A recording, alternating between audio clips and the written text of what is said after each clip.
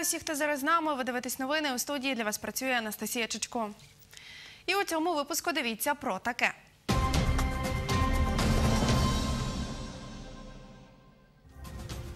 Відремонтувати дорогу від Смаківців до Гримайлова вимагали люди, які сьогодні перекривали трасу Тернопіль-Скала-Джванець. Стан цієї дороги нас просто вже ну, довів до, до, до крайнощів. Ми сьогодні перекриваємо цю дорогу для того, щоб якось зрушити те питання з, з мертвої точки. У центрі Тернополя чоловік випав з другого поверху з балкона, на якому обвалилося поруччя. Прибувши на місце події, чоловіка вже не було, швидка госпіталізувала в лікарню. Е, Здійснили охорону місця події.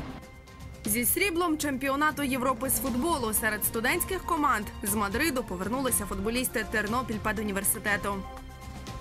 Швидше за все, це дуже, це дуже великий досвід для нас буде, так як кожна гра була нового золота, не було права на помилку.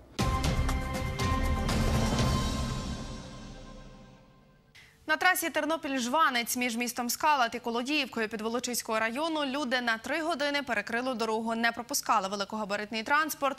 Повідомив депутат Скалацької громади Сергій Сарабун. За його словами, на акцію протесту вийшли 120 осіб. Вони вимагали від облавтодору відремонтувати 38 кілометрів дороги від Смиківців до Гримайлова. О 9 годині неподалік скалата місцеві жителі перекривають дорогу.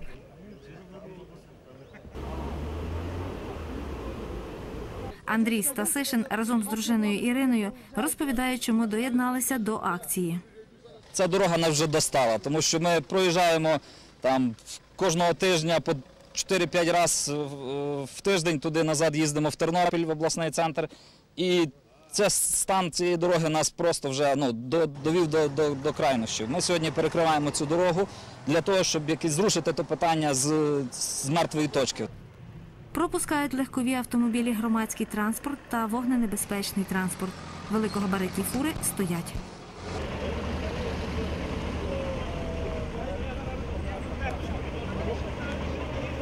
Я їду зараз з скала Полупанівка, де проходить зараз уборка зернових проходить, і вони можуть проїхати. Зараз з комбайни буду стояти полі. Нам потрібно вперед хліб зібрати, а потім, а потім ставати перекривати дороги. Постійно їздимо, в кар'єрі робимо.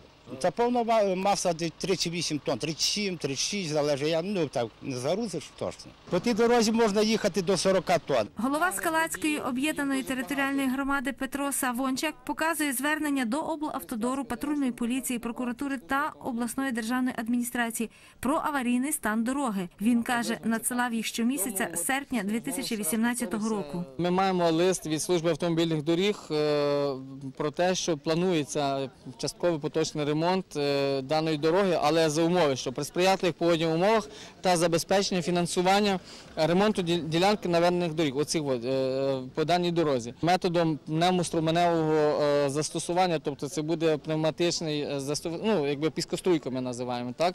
Ну ці дороги таким чином не ремонтуються. Також Петро Савончак каже, що два місяці тому він надіслав керівнику товариства гірничодобувної промисловості листа з пропозицією збудувати об'їзну технологічну дорогу протяжністю 2 кілометри. Ми вважаємо, що основна доля руйнування цієї дороги належить кар'єру.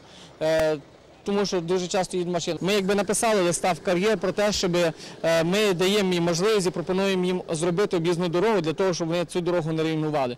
Пройшло два місяці, е, відповіді немає. На дзвінки Дніпропетровськ не відповідає. Тобто, і ми більше не маємо що зробити, тільки як мітингувати. Це кар'єр у селі Полупанівка, з якого возять камінь дорогою Тернопіль-Жванець. Телефоном директор кар'єру, керівник Полупанівської філії Ігор Штогрин сказав, що головний офіс у них в Дніпропетровську і вони на місці нічого не вирішують. Заступник начальника служби автомобільних доріг в області Юрій Іваниця розповів, Буде ремонт. Ми домовилися, що завтра е, ми вже складемо, намітимо якийсь конкретний план. І, зокрема, цю ділянку е, до кінця тижня має зайти підрядна організація, яка розпочне вже роботу. Голова Скалацької об'єднаної територіальної громади Петро Савончак повідомив, що завтра представники громади, кар'єру, облавтодору, поліції та облдержадміністрації обговорюватимуть питання ремонту цієї дороги та будівництва об'їзної. Світлана Лазорик, Василь Панчук. Новини. У центрі Тернополя чоловік випав з другого поверху. Він стояв на балконі, коли обвалилися перила. Про це повідомив патрульний поліцейський Павло Пелешок. За його словами, виклик до патрульних надійшов о 14-й годині.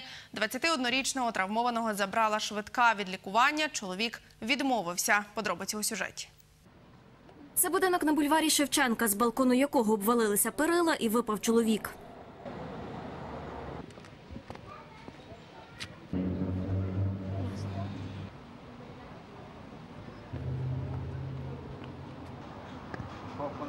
Сьогодні ну, отримали на службовий планшет е, виклик про те, що стався нещасний випадок по вулиці Шевченка, 29, про те, що чоловік випав з другого поверху. Прибувши на місце події, чоловіка вже не було, швидка госпіталізувала в лікарню.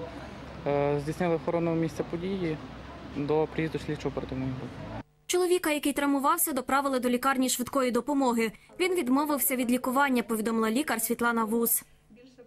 Оглянути нашими лікарями, хірургом, нейрохірургом, травматологом, анестезіологом. Від будь-яких обстежень пацієнт категорично відмовився. Попередньо йому було виставлено діагноз падіння з висоти, е, закрита черепно-мозгова травма, струс головного мозку під знаком питання, забір грудної клітки, забір живота. Все це попередньо під знаком питання, осаднення нижньої щелепи і осаднення ліктів. Пацієнт поводив себе агресивно, збуджено, неадекватно. Повторюсь, від будь-яких обстежень, від рекомендацій лікарів, які дані, категорично відмовився і самовільно покинув наш лікувальний заклад. На зауваження, прохання повернутися, застороги по можливих наслідках пацієнт не реагував. Будинок, де обвалилася частина балкону, збудований у 1885 році, повідомив директор приватного підприємства Східний масив, яке обслуговує цей дім, Михайло Дереворіс. Наша комісія, це ми наші фахівці ну, проводять щорічне, так, проводять обстеження, визначають наскільки, наскільки придатний балкон для користування цього власника, і власнику даємо повідомлення про це, щоб він зобов'язаний утримувати свій балкон в належному стані, повинен провести його ремонт, захистити його від е, зовнішніх опадів, тому що в кінцевому результаті він несе відповідальність за його технічний стан. Крім цього балкона, в цьому будинку вже був такий самий випадок. Значить, там хтось оперся був на цей балкон, стався. Е, Частина там його була ем, огородження е, обвалилася. Але коли ми під'їхали до обстеження, подивитися і дати попередження, зразу всі там ніхто квартири не відкрив. Вони звичайно відчували свою вину. Це вже було таке буквально в зимовий період. Олександр Чурілов, головний спеціаліст відділу з експлуатації та ремонту житлового фонду управління житлово-комунального господарства Тернопільської міськради. Е, Звернень щодо е, необхідності ремонту е, ну, балкону від мешканців будинку за даною адресою в управління житлово-комунального господарства «Благоустрій екології не надходило. В Тернополі значна кількість будинків застарілого житлового фонду, в тому числі і по центральних частинах вулиці, де ми можемо побачити е, пошкодження тих самих балконних плит, е, проглядання е, залізної арматури. Е, Відповідно, дані будинки потребують е, вирішення в глобальному питанні, бо така ситуація існує. В більшості випадків, якщо е, коштів на е, проведення ремонтних робіт капітального характеру е, не передбачено, то експлуатуючі підприємства виходять на місце, е, балкони стараються огородити. Якщо є якісь е, виступаючі елементи, які відшаровуються, вони їх просто збивають, так би мовити. Мешканцям вручають е, приписи про е, обмеження е, виходу на той е, самий пошкоджений балкон з метою запобігання нещасних випадків і травматизму. Соломія Струс, Андрій Прокопів. Новини. За цим фактом поліцейські не відкривали провадження, оскільки травмований відмовився від лікування. Про це повідомив речник Нацполіції області Андрій Василик. Сьогодні в Україні розпочався місяць щеплень проти дифтерії і правця, повідомила міністр охорони здоров'я Уляна Супрун. За її словами, рівень вакцинації від дифтерії і правця в Україні становить 65%. Ми закликаємо усіх, щоб поговорити зі своїм сімейним лікарем або своїм терапевтом, е, знати, коли останній раз ви були щеплені проти дифтерії, проти правця, і як потрібно, щоб знов щепитися. На Тернопільщині протягом двох років не реєстрували цих захворювань, повідомила лікар інфекційного відділення лікарні швидкої допомоги Світлана Нестеренко. В рік один-два випадки з підозрою на дифтерію чи правець е, до нас потрапляють. Е, На щастя, це є інфекція керована, як дифтерія, так і правець, і щоб запобігти е, даним важким інфекційним захворюванням, існує вакцинація. Вакцинація здійснюється згідно календаря щеплень, е, починаючи з дитячого віку, а дифтерія і правець в нас е, іде планова ревакцинація з 16 років кожних 10 років. Як повідомила головний спеціаліст обласного управління охорони здоров'я Оксана Тімофієнкова, на Тернопільщині рівень вакцинації від дифтерії правця становить серед дорослого населення 56,5% і серед дітей 45,7%.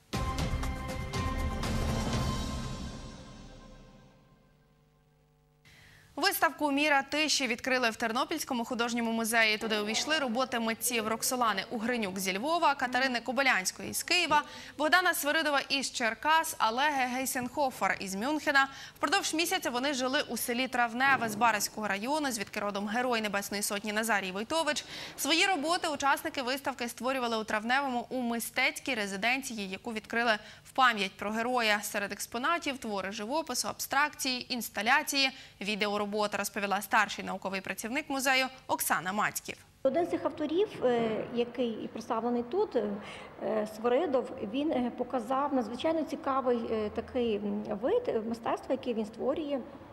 Який називається Радімейт. Багато людей виїжджають за кордон, так говорив він. І е, кожного дня вони не задумуються про те, що от як швидко це все минає. На цьому Радімейді Богдана Свиридова ми бачимо е, 90 зубних щіток, які е, знаменують початок дня, початок місяця, коли ти прибув на роботу, так і тих три місяці, поки людина перебуває е, за кордоном, так як він сам це говорив, і саме закінчення до заїждженої такої щітки, видно, що людина оце відповідність нашого життя і зрозумілість того, що відбувається з нами протягом цього життя.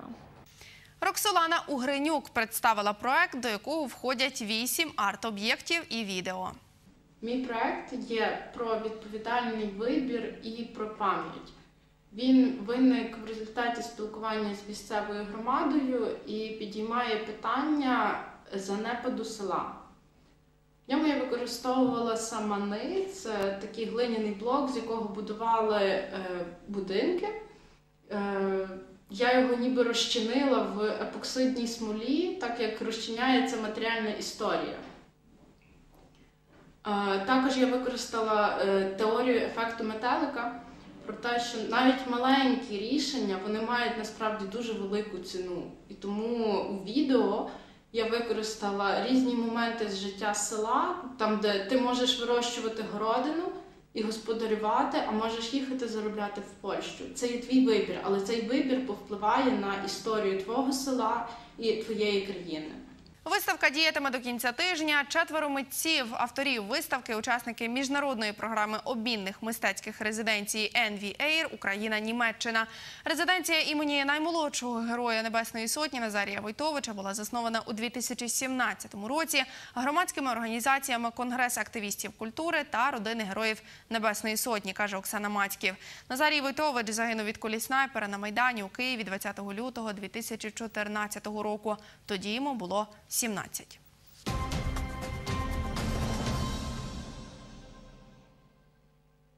І на завершення про спорт. Срібні призери чемпіонату Європи з футболу серед студентських команд Тернопіль педуніверситет візьмуть участь у чемпіонаті світу серед студентів наступного року. Про це повідомив гравець команди Ігор Гатала. Сьогодні тернополяни повернулися з чемпіонату Європи зі столиці Іспанії Мадриду до Тернополя. На цих кадрах ви бачите фінальний матч чемпіонату Європи з футболу серед студентів. Це гра між командою Тернопіль педуніверситет та російськими спортсменами з Кубанського університету. Команда Василя Івегеша у цьому матчі програла з рахунком 4-2. Тренер тернополян Василь Івегеш результат гри коментує так. На росіян два переломи гатала е, получив. Е, Вигнали з поля понедільники. Там за фолспорний такий десь кров пішла, там є. Ну і саме страшне, що було Діма Старішин, у нас ранком е, визвали мене до нього в 10 годин ранку, температура 40. Збили до 38 не міг. Тоді визиваємо лікарі, скору і займалися практично Дімою, аналізи здавали, то все, Діму привезли вже після гри десь 10 година під розписку. Посадились ми в, ліка... у літак і приїхали сюди. Оце нас вибило з колії. З ним нам дуже важко було, тому що це країна, яка може купа зробити підставок, робить, що хоче. Вони люди по 30 років там у них одно. І повірте одно, що здивувало нас, що коли ми грали фінальну гру, то зразу почну з неї. Всі країни за нас боліли. Як розповів Василь Івгеш, до фіналу наші спортсмени увійшли, здобувши перемогу у півфінальному матчі з турецькою командою. Ця гра завершилась з рахунком 4-0. Під час групового етапу чемпіонату Європи команда Тернопіль педуніверситет з рахунком 2-0 перемогла команду з Нідерландів. З рахунком 2-1 іспанських студентів і у заключному поєдинку з рахунком 2-0 перемогла команду з Норвегії. Ще один матч з командою Інституту технологій Карлсрує з Німеччини вони зіграли в нічию. Рахунок цього матчу 1-1. Гравець команди Ігор Кохман розповів про чемпіонат. Приїхали важкувато, трошки були не відіспалися ще після дороги. Де сюди дуже важко було е, клімат, жарко, дуже сильно, непривично. Е, ще плюс штучне поле давало знаки. Найважче, напевно, що Німеччина, Німеччина або турки, так само важко з турками було і грати. Бійцівська така команда вже більш старша. Е, Та з німцями високоросла команда, така досить боєздатна. За словами учасника команди тернополян Ігоря Гатали, переможці, що здобули перші три місця на чемпіонаті, поїдуть на чемпіонат світу наступного року.